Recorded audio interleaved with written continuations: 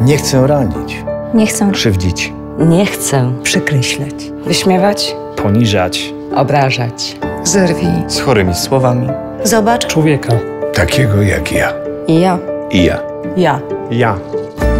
Zaburzenia psychiczne, niepełnosprawność intelektualna, niesamodzielność oraz problemy osób starszych wymagają akceptacji i wsparcia, nie obelg i piętnowania.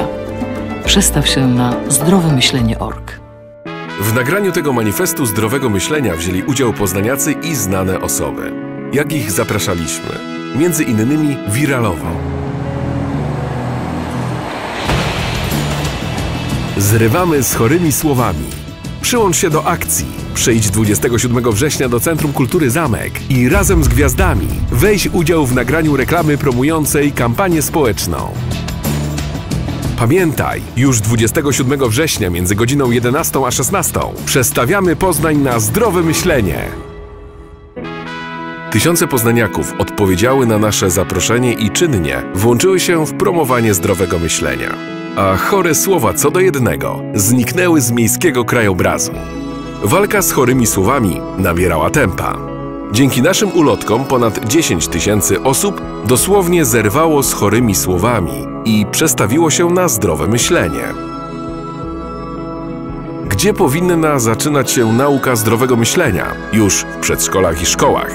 Dlatego przygotowaliśmy dla nich 45-minutowe aktywizujące lekcje, z których skorzystało ponad 20 tysięcy uczniów, ponad 2 tysiącach placówek. W nasze działania zaangażowaliśmy także firmy i instytucje. Pół tysiąca pracowników wzięło udział w e-learningu.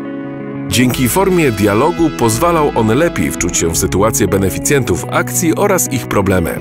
Ukończenie e-learningu potwierdzał certyfikat do wyeksponowania widocznym dla klientów miejscu. Dynamiczny rozwój akcji śledziło w mediach społecznościowych ponad 4000 osób, z czasem angażując się coraz bardziej i tworząc własne treści. Pozyskaliśmy znaczących partnerów medialnych, a akcja zyskała rozgłos ogólnopolski. Ostatecznie, w ramach kampanii, która według briefu i budżetu miała być lokalną, przestawiliśmy na zdrowe myślenie kilkadziesiąt tysięcy osób w całej Polsce.